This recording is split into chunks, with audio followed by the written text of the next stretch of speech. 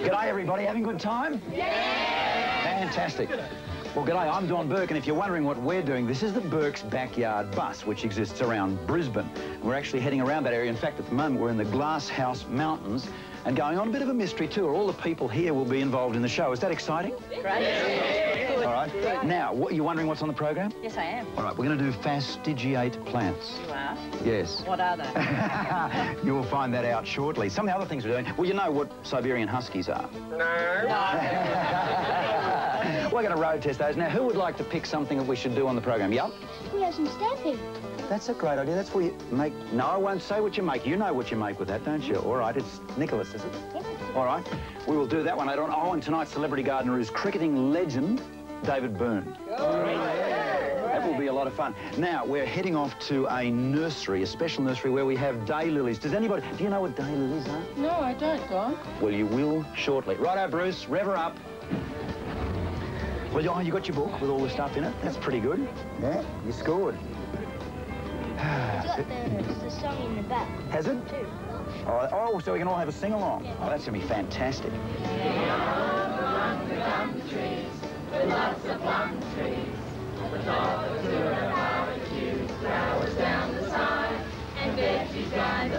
All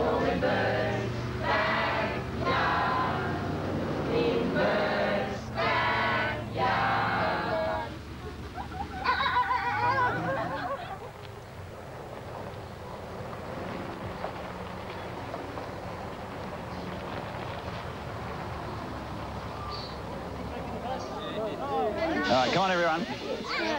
Right, well now, welcome to Mountain View Daylily Nursery. Now, you might never have heard of them. They used to be sort of boring plants and all sort of a dull yellow. These days, thousands of new colour varieties, really stunning. Couldn't kill them with a brick, and they grow everywhere in Australia. And that's not too bad, is it? And I tell you what, if you're all good boys and girls, maybe a freebie at the end. Okay? Through this way. Where's the toilet? I think they're through here. hungry. You're all right.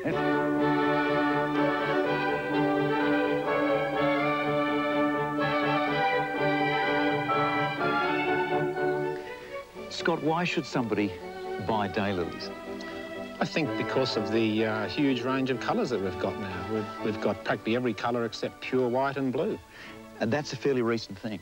Yeah, we had all colours years ago were basically oranges and yellows and uh, some muddy-looking reds, but now look at the, the vibrant colours that we've got. It is huge. And there are also newer things like miniatures and that. Miniatures in all colours, doubles, huge flower, large flowered ones, um, spidery ones. There's all shapes and sizes and heights and uh, different foliage types as well. What areas of Australia would you recommend them for? I think you could grow them just about everywhere. I've got customers out in uh, Charleville, um, Tasmania. I think you can just about grow them anywhere. Cairns? Cairns, um, I've got uh, people up there growing them and uh, they seem to be pretty happy with them, but, uh, you know, it's getting a bit hot.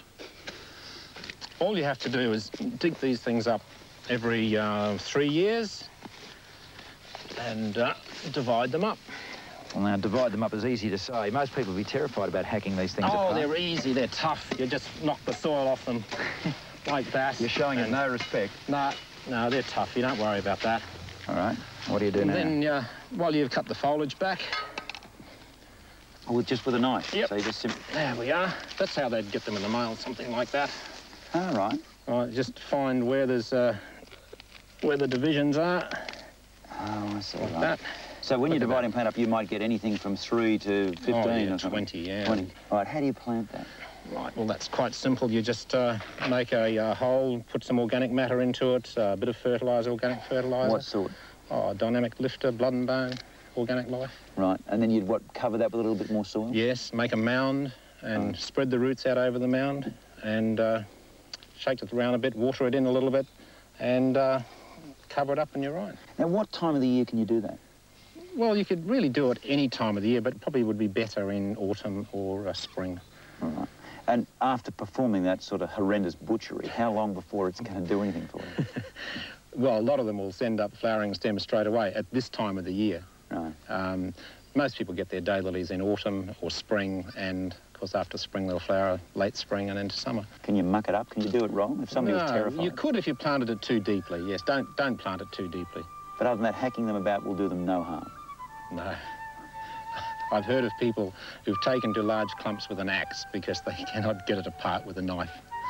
So that's how tough they are. And don't tell me they broke the axe. Uh, they broke their backs trying to lift the clumps up. Yes. They're beautiful, aren't they? They don't even look real. The colours are lovely. Don, these are some fabulous new varieties that I've imported from America. This is Wedding Band with the yellow edge around there. Marvellous. And, and this is uh, Chestnut Mountain with its very ruffled edges. And uh, these, this is Canton Harbour. Uh, they they really have done some fabulous work. You must be very proud of some of the varieties you brought in.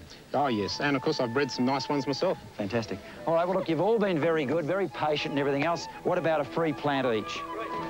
There you go. That's it. Don,